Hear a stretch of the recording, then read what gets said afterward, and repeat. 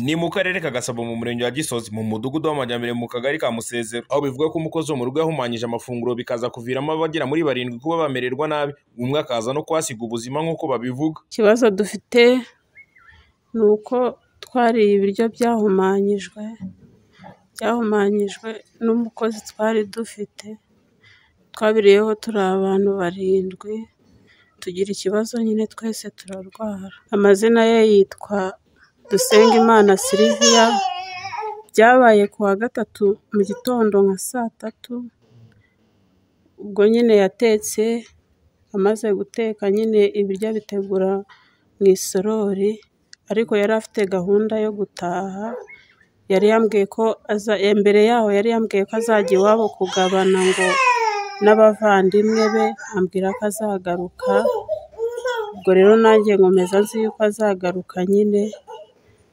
Birangira. Nyine mbonye imyenda ye yayijyanye ubwo ni bwo twariye kuri ibyo biryo. Nyine n'abana babiri mfite b'impanga nyuma yaho bukeye ni bwo twatangiye natangiye kumva ndi kuribwa mu nda ariko sinamenye ibyo ari byo. Nitabaza nitabaza inshuti yanjye nyibwira yuko meze nabi ndwaye iza kundeba. Irangije inyoherereza abana ngo baze bamfashe. Abana baje kumfasha nabo nyine bashyushya kuri bya biryo barabirya nabo nyine bucya barembye bameze nabi. Tubwiye nuko twese ababiriyeho twahise duhura n'izo ngaruka. Madamu nyine ku wa gatatu ni bwo uwo mukozi yagiye ariko ngo agenda amufashije imirimo y'umunsi yamuteguriye amafunguro ya saa sita. Aramugaburira nyine amusigira ibiryo ari buze kurya amaze kubimusigira. Madamu twongeye kuvugana mu gitondo bukeye ambwira ngo mu nda hari kumurya. Ngira ngo ni ibisanzwe araza gukomeza kumbwira ngo haramurya harimo kuribwa cyane noneho ari bwo twashakaga ubufasha bw'umuturanyi wacu. Haza abana harimo n'uyu nguyu abana batanu.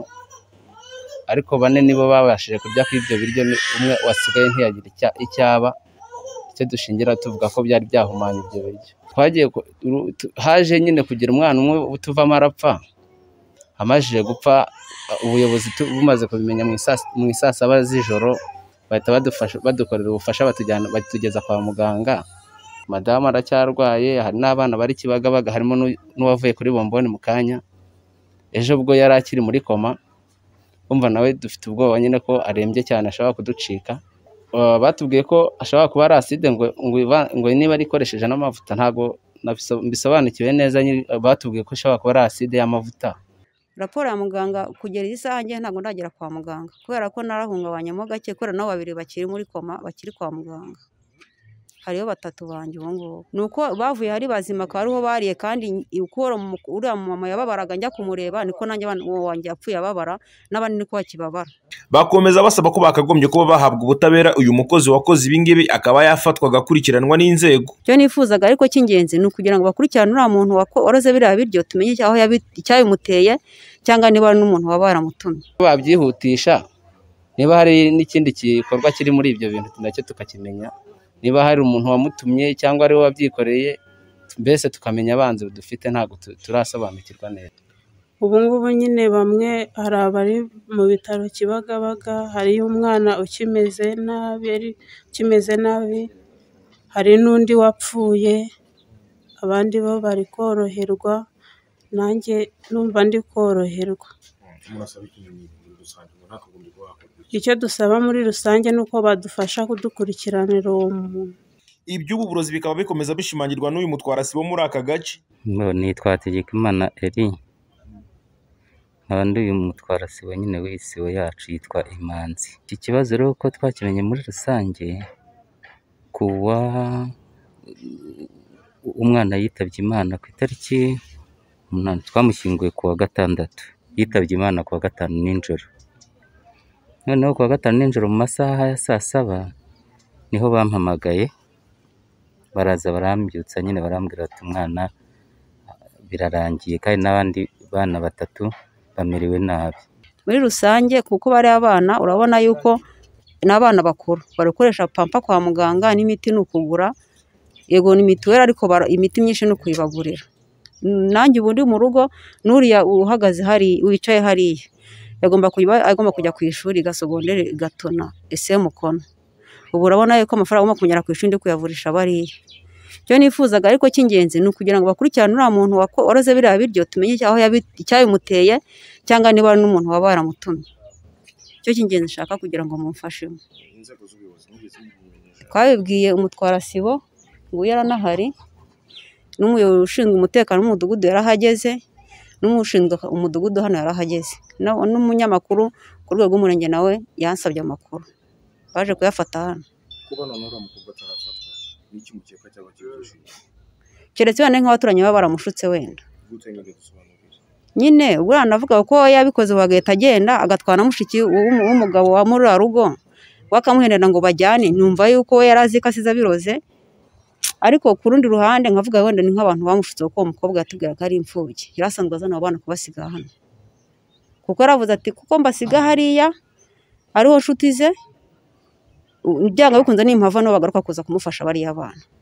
Nicyo nkeka ko yabikoze abigambiriye ko byanga bikunze imiryango igomba gukorwaho n'icyo kintu. Murakoze nawe hamwe abaturage cyangwa nyine ni ikibazo dufitiye impungenge kuko n'ahandi hose yajya ashobora kujya gukora ubugome nk'ubu. Twebwe kubera ko twabimenyesheje izindi nzego zidukuriye twumvaga ko bazakurikirana uwo mukozi byanze bikunze. Eh, twabimenyesheje inzego zidukuriye natwe. Eh? mbonye nari navuganye na mudugudu kuko twari turi kumwe mudugudu ambwira ko ikibazo yakigejeje yagishyikirize gitifu w'akagari kacu. Ibyo ari byo byose gitifu nawe numva atarabyicaranye numva bishobora kuba kuri rib kuko ejo hari amakuru yagumye kumbaza barimo bamubaza nawe. Mhm. agiye kuza azahita agaruka. Njyewe nari nagiye mu kazi mu bugesera ariko nkajya nkomeza kuvugana na madamu. Madamu nyine ku wa gatatu ni bwo uwo mukozi yagiye ariko ngo agenda amufashije imirimo y'umunsi yamuteguriye amafunguro ya saa sita. Aramugaburira nyine amusigira ibiryo ari buze kurya amaze kubimusigira. Madamu two- twongeye kuvugana mu gitondo bukeye ambwira ngo mu nda hari kumurya. Ngira ngo ni ibisanzwe araza gukomeza kumbwira ngo haramurya harimo kuribwa cyane noneho ari bwo twashakaga ubufasha bw'umuturanyi wacu. Haza abana harimo n'uyu nguyu abana batanu. Ariko bane nibo babashije kurya kuri ibyo biryo umwe wasigaye ntiyagira icya- icyo dushingira tuvuga ko byari byahumanya ibyo biryo.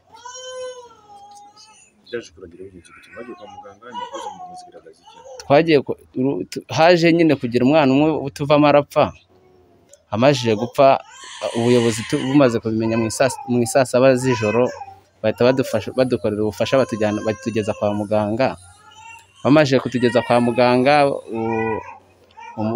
abamaze kutugeza kwa muganga ribi tukaza akazajya iduhamagara tukiri kwa muganga nyine tukiri kwirukanka kuvuza ku ba- ku barwayi bacu. Ubwo ngubwo tubaha amakuru dushoboye batubwira ko bagiye kubidukurikiranira ariko biri gutinda. Twifuza ko babyihutisha.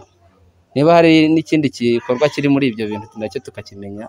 Niba hari umuntu wamutumye cyangwa ari we wabyikoreye mbese tukamenya abanzi dufite ntabwo tu- turasobanukirwa neza.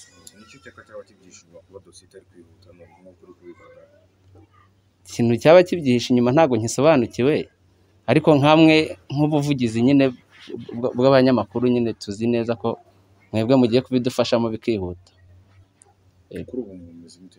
Muti madamu aracyarwaye hari n'abana bari kibagabaga harimo n'u- n'uwavuye kuri bomboni mu kanya ejo ubwo yari akiri muri koma. Umva nawe dufite ubwoba nyine ko arembye cyane ashobora kuducika. Twifuza ko badufasha bikihuta nyine tukamenya uko bimeze. Iyi mpapuro za muganga zigaragaza ko uburozi yashyizemo ari ubuhe batubwiye ko ashobora kuba ari aside ngo, niba ari ikoresheje n'amavuta ntabwo mbisobanukiwe neza batubwiye ko ishobora kuba ari aside y'amavuta. Yego. Yego. Ndaza hano. Noneho maze kugera hano ndababaza uko ikibazo kimeze baransobanurira bambwira ko bagiye gusura bagenzi babo hano hepfo basangira ku biryo umukozi yari yasize ahumanyije. Nabo rero baryaho barangije nyine bagira izo ngaruka. Ni mu gihe kuri ubu bamwe mu bana bari kuri aya mafunguro babiri bari mu bitaro bya Kibagabaga. Gusa ukaba wakibaza icyishe cyo kuba uyu mukozi wakoze aya marorerwa gikomeje kwidegembya bikakuyobera